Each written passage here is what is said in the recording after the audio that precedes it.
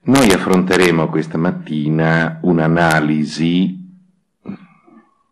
per quanto è possibile, dignitosa, anche se non riusciamo ad avere sotto mano tutti i testi paralleli come il Vangelo di Pietro e altri Vangeli apocrifi, con cui poter fare dei paragoni, anche se manca questo, riusciremo a fare lo stesso una lettura seria.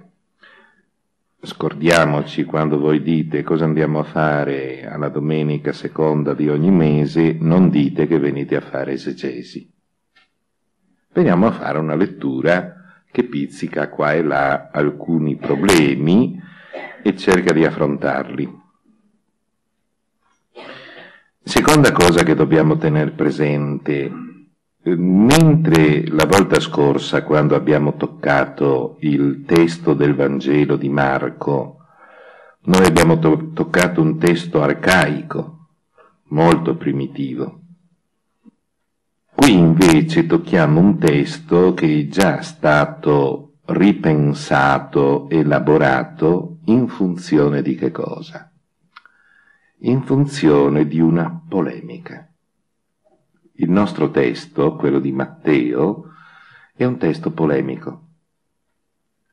Polemico non significa arrabbiato, significa che sta facendo un polemos, un combattimento nei confronti degli ebrei che verso gli anni 80-85 avevano preso una posizione durissima nei confronti degli ebreo-cristiani.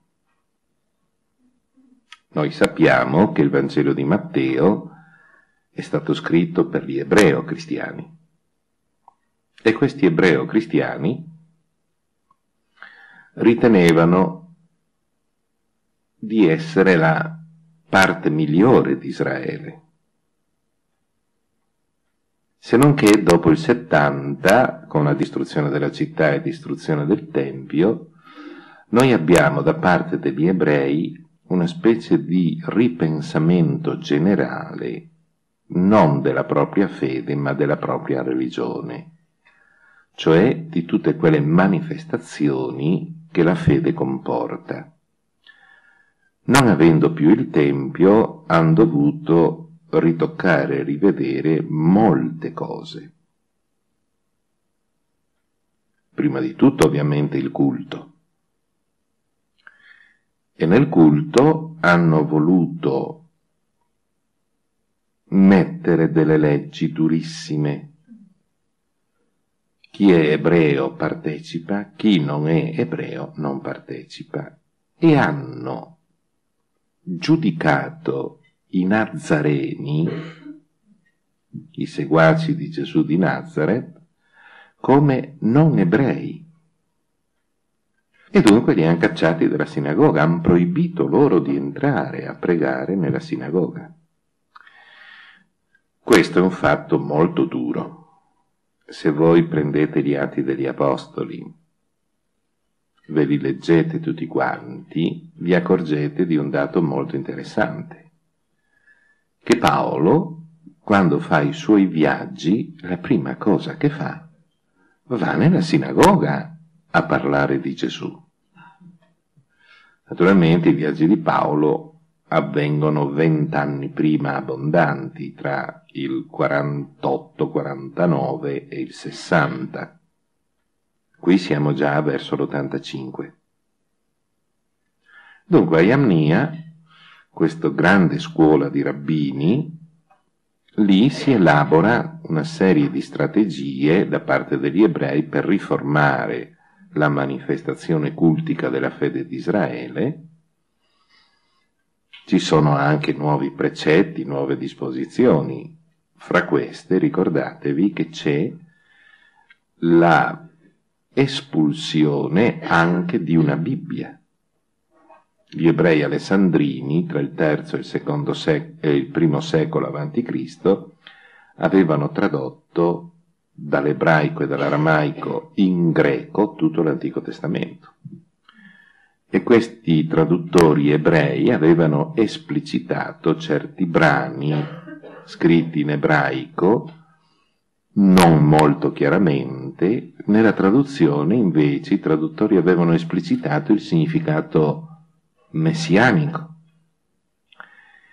Per cui i cristiani avevano adottato questo testo e quando discutevano con gli ebrei discutevano con questo testo. E siccome questo testo dava ragione ai cristiani, gli ebrei lo hanno espulso dalla lettura sinagogale fino ad oggi.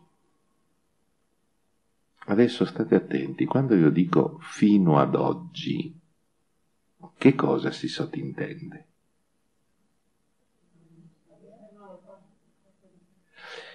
Che tutti quanti potete constatarlo, cioè è un fatto alla portata della verifica di chiunque. Chiaro? Tenetelo presente perché questa espressione la troveremo. Questo è il clima. Naturalmente è un clima dove il mondo ebraico e il mondo cristiano si sono separati perché gli ebrei non hanno più voluto avere niente a che fare con i cristiani. Tenete poi presente che sempre in questo periodo avviene una terza cosa, Naturalmente quando questo rabbinato di Amnia riforma l'ebraismo, dice anche quali siano le preghiere del mattino e della sera. E nelle preghiere vengono introdotte le 18 benedizioni.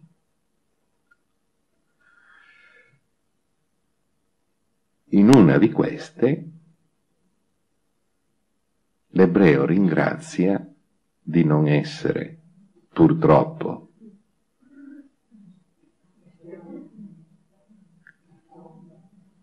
donna e di non essere come i minim.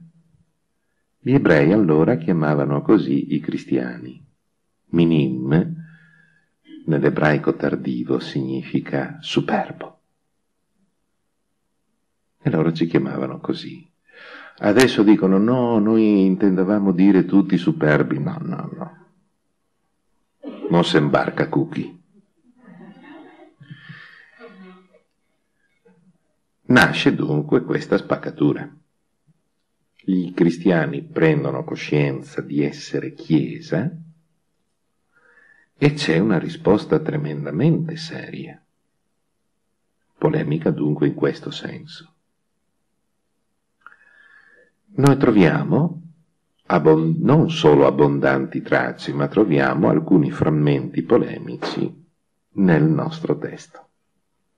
Ecco, tenuto presente questi elementi, noi possiamo oggi leggere questo capitolo 28 di Matteo, il quale ha più problemi che non parole, tanto per capirci.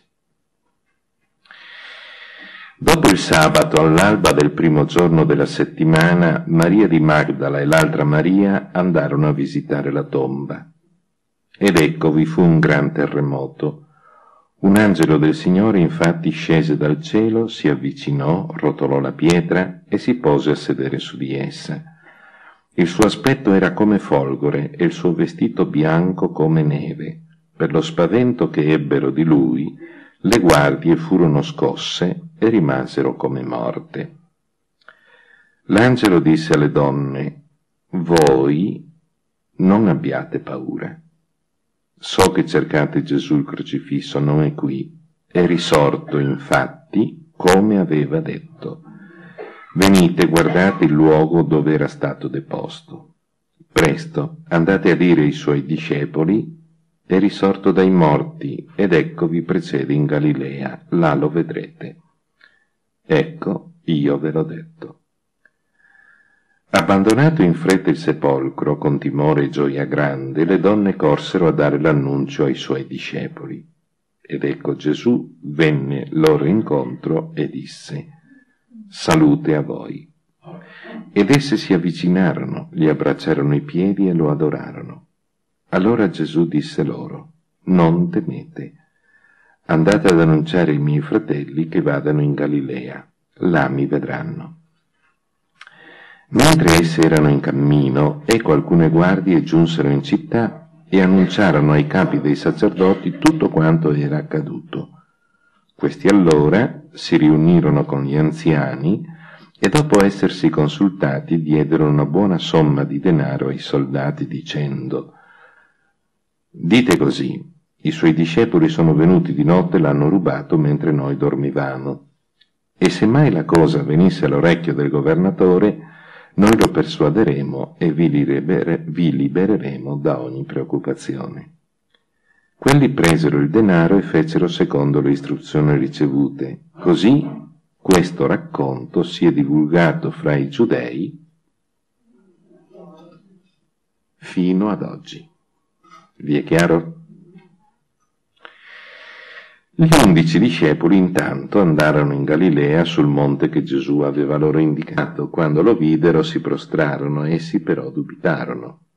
Gesù si avvicinò e disse loro, A me è stato dato ogni potere in cielo e sulla terra.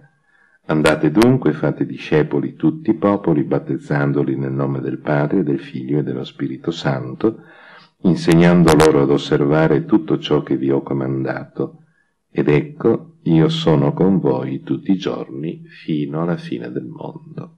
Amen. Basta? Tutto liscio, tutto chiaro? Forse. Forse. Adesso vediamo cosa tiriamo fuori dalla pancia. Allora, la prima cosa da dire è che questo testo che abbiamo letto incrocia, innesta uno nell'altro due tipi di narrazione. Una è una narrazione storico-teologica e l'altra è una narrazione apocalittica.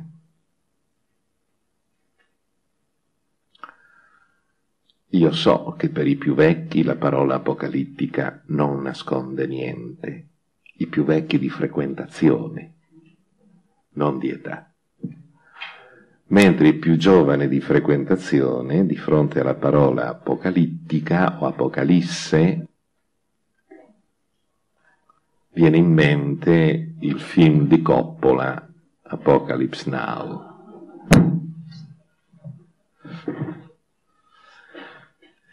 Per i miei amici più giovani di frequentazione, L'Apocalittica è una corrente di pensiero e una corrente letteraria che si sviluppa nel mondo ebraico dal secondo secolo a.C. al secondo secolo d.C., 400 anni. Il cristianesimo è incapsulato dentro a questo periodo, perché i libri biblici vengono scritti dalla fonte Q, la seconda lettera di Pietro, tra il 50 e il 105 d.C. Siamo dentro al periodo apocalittico.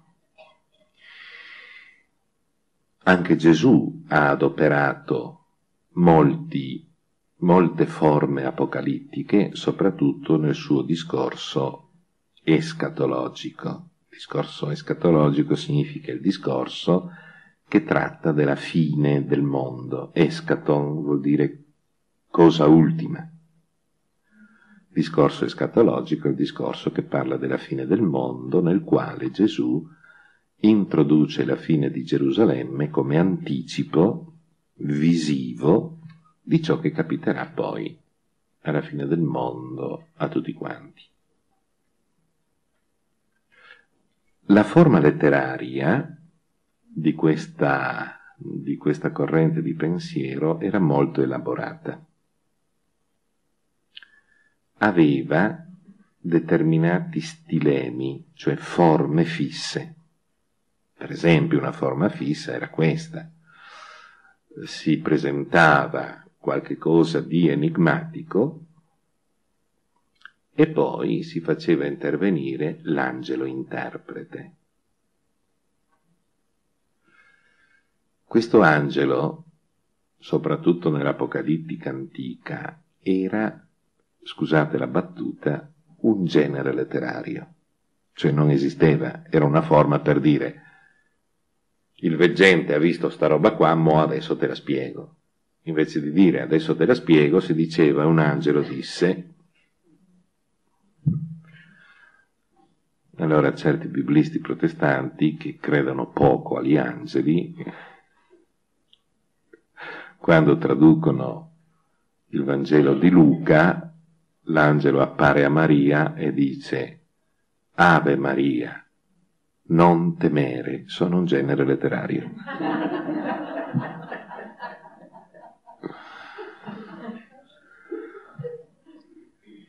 Poi questa battuta viene attribuita agli esegeti cattolici. No, non è vero, noi non diciamo questo. Sono gli esegeti protestanti che fanno queste battute qua. Dunque l'angelo interprete è questo essere inizialmente solo letterario, invece nel caso nostro non è semplicemente un genere letterario. L'angelo ha questo compito di chiarire ciò che è ambiguo. Una visione, un avvenimento, un sogno, una profezia che non è chiara, apocalittico prende piazza l'angelo il quale spiega. Voi penso abbiate letto qualche volta, parlo sempre dei giovani di frequentazione, abbiate letto qualche volta il libro di Daniele. Nel libro di Daniele si vede con chiarezza tutto questo. C'è il sogno o c'è la visione, poi c'è questo angelo che in maniera beffarda interroga i presenti, dice avete capito qualcosa? No, non abbiamo capito niente, mo ve lo spiego io. Noi troviamo questo angelo nel racconto, se avete visto.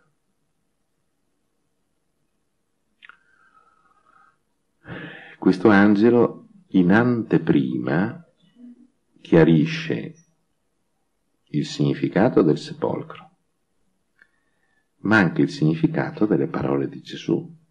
Quindi voi avete il sepolcro, l'angelo, l'incontro con Gesù. L'angelo chiarisce il valore del sepolcro, ma chiarisce prima che Gesù le dica le stesse parole di Gesù.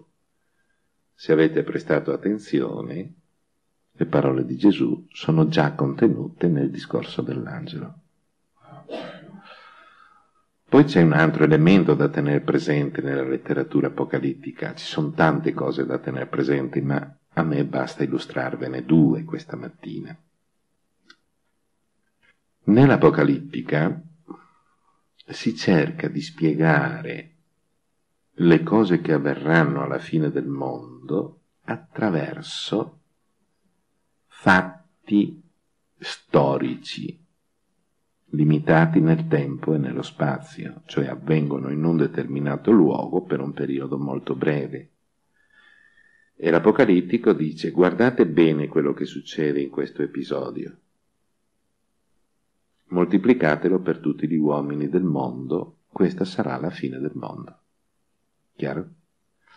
È lo scherzetto che Gesù fa nel discorso escatologico. Quando lui annuncia la fine del mondo, certo momento dirà guardate Gerusalemme verrà distrutta. Osservate bene come viene distrutta, perché in quell'episodio che avviene solo a Gerusalemme, circoscritto dunque nel tempo, circoscritto nello spazio, lì voi potrete vedere in miniatura riprodotto ciò che capiterà a tutti. Gli apocalittici avevano questo stile. Guarda qui, guarda là, osserva questo, osserva quello. Lì è contenuto qualche cosa che moltiplicato per tutti gli uomini avverrà quando la storia finirà. Matteo adopera lo stesso stile qui. Quindi ci piazza l'angelo che spiega, ma questo è un angelo reale, poi vedremo il perché. E poi adopera questo concetto. Ciò che avviene qui serve a tutti. Questo è un fatto che ha colpito una realtà circoscritta, si chiama Gesù Cristo, è capitato a lui, ma in questo fatto noi vediamo ciò che capiterà a tutti quanti. Chiaro? Se voi tenete presente queste cosucce, l'atteggiamento polemico da una parte e queste caratteristiche della letteratura apocalittica dall'altra, e tenete presente che in Matteo convergono, noi riusciamo ad avere già una buona chiave di lettura e di comprensione di questo testo.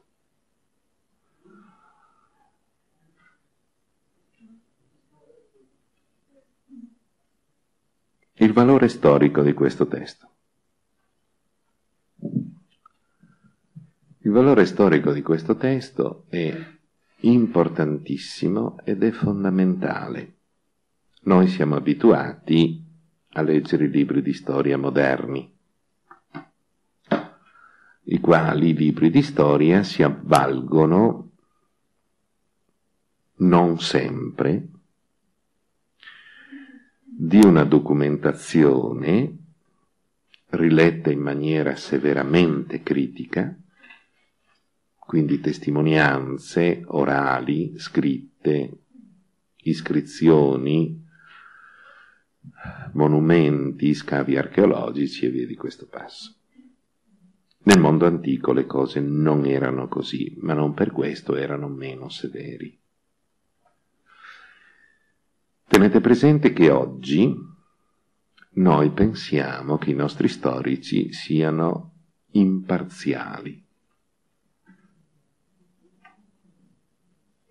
Ma quando mai?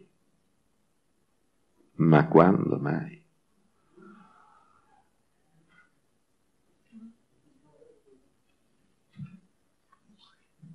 Giardino zoologico, gabbia dei leoni, bambino scemo. Ce ne sono tanti oggi. Ma non sono loro scemi.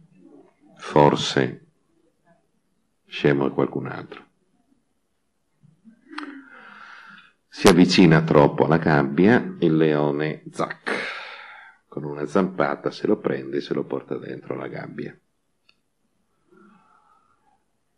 Tutta quanta la gente disperata osserva, terrorizzata.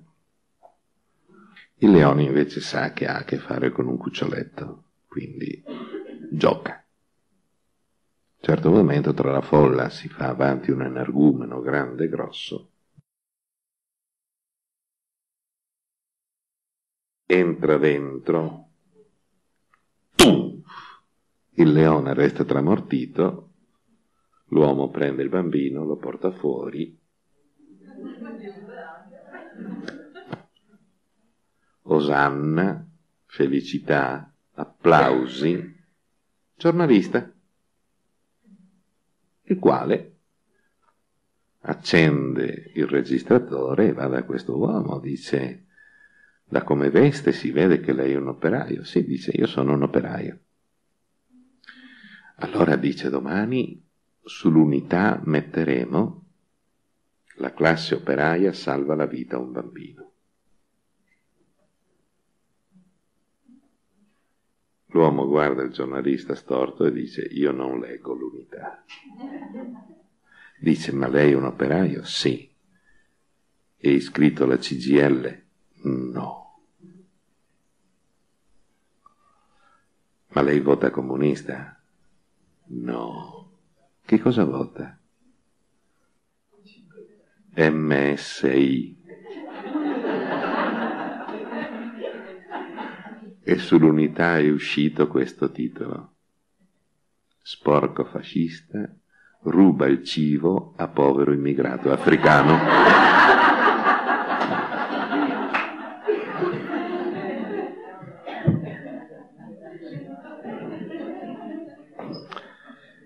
Guardate che molto spesso i nostri libri di storia sono questi, eh?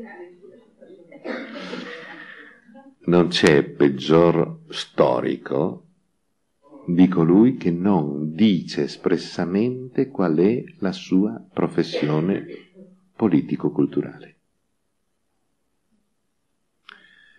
Per cui all'inizio di ogni libro di storia lo storico dovrebbe dire io sono uno storico liberale.